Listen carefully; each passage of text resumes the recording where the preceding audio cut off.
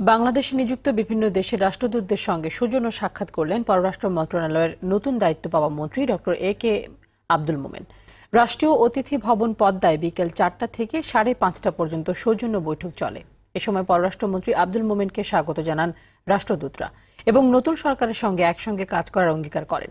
বিভিন্ন দেশের সঙ্গে বাংলাদেশের দ্বিপাক্ষিক সম্পর্ক এর উপর জোর দেন তারা। বৈঠকে পররাষ্ট্র প্রতিমন্ত্রী শাহরিয়ার আলম ও সচিব শহীদুল ইসলাম উপস্থিত ছিলেন। বৈঠক শেষে কূটনীতিকদের সঙ্গে আলোচনা নিয়ে কোনো আনুষ্ঠানিক ব্রিফ করেননি মন্ত্রী।